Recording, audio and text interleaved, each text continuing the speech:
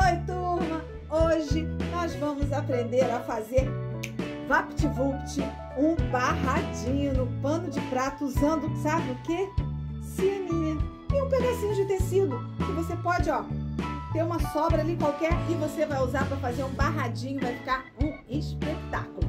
Eu fiz esse aqui, ó, que eu trancei, ó, a cianinha com a branca e com a coral para fazer esse acabamento e ficou assim, olha só que espetáculo. Tá vendo? Então, do mesmo jeito que eu fiz esse aqui, eu vou fazer esse agora que vocês vão ver, de vermelho. Então, daqui a pouco eu mostro para vocês. Então, não deixe de compartilhar, se inscrever, dar like, me seguir nas redes sociais que estão aqui embaixo, eu estou aguardando por você. Então, vamos para o que interessa? Bom dia para quem é do dia, boa tarde para quem é da tarde, muito boa noite para quem noite. Ateliê Cláudia Velasco se apresentando para mais um Passo a Passo. Bom dia, turma. Turma, olha só. Vamos fazer uns panos de prato bem simples, tá? Com cianinha e uma pequena borda. Você pode fazer só com a cianinha. Vou ensinar todos os os truques aqui, tá? Você pode fazer só com a cianinha, uma cianinha assim, ó, simples. Você pode intercalar as cianinhas e você pode colocar um barrado com as cianinhas, tá? Então, eu vou ensinar a fazer esse aqui, ó, mas só com a cianinha livre, tá? Sem ter que enrolar uma cianinha na outra. A técnica é a mesma. Se você quiser enrolar uma cianinha na outra, é só você enrolar. Ela vai ficar assim, ó, mais grossinha, né? E em tons degradê. Mas vamos fazer o básico e o simples. Pano de prato, gente, esse pano de prato aqui, ele já tem a, a costura do lado. Nós vamos pegar a parte do avesso, ó, e vamos pregar aqui, ó, a cianinha, aqui, ó. A cianinha aqui, ó. Vamos passar uma costura aqui no meio da cianinha Deixa sempre, gente, sobrar um pedacinho para um lado, um pedacinho para o outro, tá? Pra gente poder fazer um bonito acabamento. Ó, nós vamos colocar aqui e prender essa cianinha aqui, ó.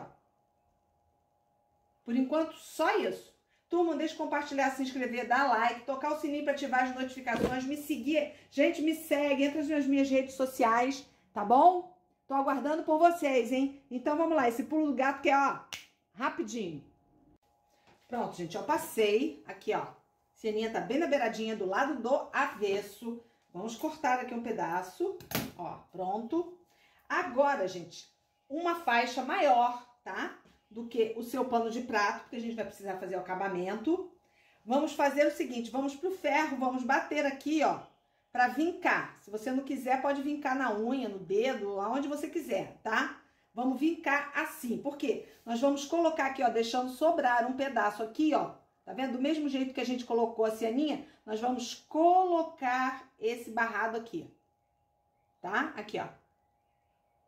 Mesmo jeito, ó. Em cima. Tá bom? Bem, então, ó, coloquei, ó, cianinha. Vim aqui e coloquei, tá? Agora o que nós vamos fazer, gente? Vamos virar, ó, tudo isso aqui, ó, pra cá, para o lado direito, ó, deixando o, o pano de prato fazer uma borda aqui, ó. Esse aqui é o pulinho do gato que as pessoas não falam, tá? Ó, aqui, ó. Sendo que isso aqui vem tudo aqui pra dentro, ó, pra você fazer aquele bonito acabamento aqui do lado, ó. Então, ó, vamos lá, de novo. Ó, colocamos, tá tudo viradinho. Vamos, ó, virar pro lado de dentro, ó. E agora nós vamos virar com a borda, ó, aqui, ó, do pano de prato aqui, fazendo o acabamento, ó. Aí, o que, que você vai fazer, gente? Essa parte aqui você vai dobrar pra dentro e a mesma coisa você vai fazer do outro lado. Você vai passar aqui na beirinha o ponto reto. Se você quiser, gente, você pode fazer igual que eu fiz aqui, ó. Um acabamento aqui, ó, no ponto de caseado, se sua máquina tiver, ou um ponto de bordado, tá? Se a sua máquina tiver, tá bom? Se não quiser, não precisa, porque só em fixar aqui, ó, ele já fica certinho aqui. Então, você coloca o pontinho aqui, se você quiser. Se não quiser, pronto, barrado do seu pano de prato vai estar lindo, bonito, maravilhoso e você pode vender por um precinho, ó, bem acessível, tá certo? Então, vou fazer isso aqui, vou fazer o pontinho de caseado e já mostro prontinho pra você. Aqui, gente, ó, tá? Eu não fechei aqui, por quê? Porque eu vou fazer o pontinho de caseado, então vou fazer um acabamento aqui em vermelho também, tá? Mas se não fosse o caso, eu fecharia aqui, fecharia aqui, ó. Ó, fecharia os dois lados aqui e ficaria pra cima tranquilamente, tá vendo? Ó. Mas vou fazer o pontinho de caseado que eu acho que fica mais bonitinho e também é um frufruzinho legal, tá certo? Então, faço o pontinho de caseado, faço o acabamento aqui do lado e nosso paninho de prato vai estar uma beleza.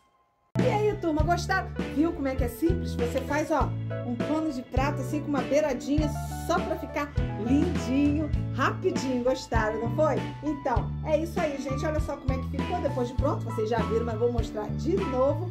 Olha, tá? E depois desse eu fiz vários, olha só.